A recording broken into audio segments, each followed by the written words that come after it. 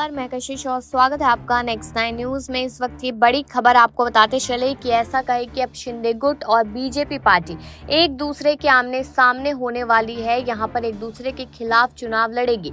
तो आप लोग कहेंगे कि फेक न्यूज़ है, लेकिन इस खबर में पूरी तरीके से सौ प्रतिशत सच्चाई है। तो आपको बता दूँ, यहाँ पर कि राष्ट्रवादी कांग्रेस पार्टी की महाराष्ट्र इकाई के अध्यक्ष जयंत पाटिल ने बड़ा बयान दिया है। उन्होंने कहा, दो हज़ार चौबीस में विधानसभा चुनाव भारतीय जनता पार्टी बनाम महाविकास अघाड़ी होगा और यहाँ पर मुख्यमंत्री एक शिंदे की शिवसेना या तो खत्म हो जाएगी, उनका अस्तित्व खत्म हो जाएगा या फिर वो यहाँ पर बीजेपी के खिलाफ लड़ते नज़र आएँगे, क्योंकि सत्ता हर किसी को चाहिए और जनता का, जनता के लिए काम हर किसी को करना है। वो करना है या नहीं करना, वो बात अलग है। लेकिन पाटिल ने यहाँ संवाददाताओं से कहा कि वे महसूस करते हैं कि बीजेपी अपने चुनाव चिन्ह पर विधानसभा की सभी दो सौ अट्ठासी सीटों पर चुनाव लड़ेगी। उन्होंने विश्वास प्रकट किया कि शिंदे गुट का अस्तित्व खत्म हो जाएगा। एनसीपी नेता कहते हैं कि मुझे नहीं लगता कि जब मुकाबला बीजेपी एवं एमवीए के बीच होगा तो शिंदे गुट बरकरार रहेगा। उद्धव ठाकरे की अगुवाई वाले शिवसेना धड़े, राकंपा और कांग्रेस की एमवीए सरकार पिछले साल शिंदे के अविभाजित शिवसेना से अलग हो जाने के बाद गिर गई थी।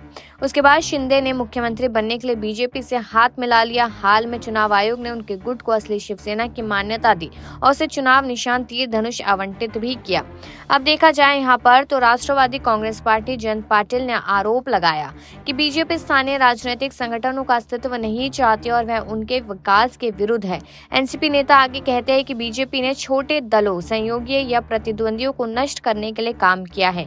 बीजेपी का एकमात्र एजेंडा छोटे दलों को अस्थिर करना है ताकि वह उनकी वोट हाथ से हिस्सेदारी को हथिया सके।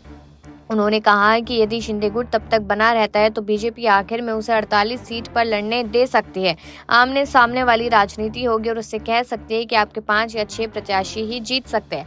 लेकिन देखा जाए यहाँ पर तो साफ़ तौर पर सिचुएशन कुछ ऐसी ही बनती नज़र आ रही क्योंकि सुप्रीम कोर्ट का फैसला अगर उद्धव के पक्ष में आता है तो यहाँ पर शिंदे का धड़ कहीं ना कहीं पूरी तरीके से बीजेपी के खिलाफ चुनाव लड़ता नज़र आएगा, क्योंकि शिंदे को मुख्यमंत्री बने रहना है। अब इस पर अपनी राय ज़रूर दीजिएगा कि क्या एनसीपी नेता का दावा दावा जो है वो सही है। और बाकी ऐसी खबरों के लिए देखते रहिए नेक्स्ट नाइन न्यूज़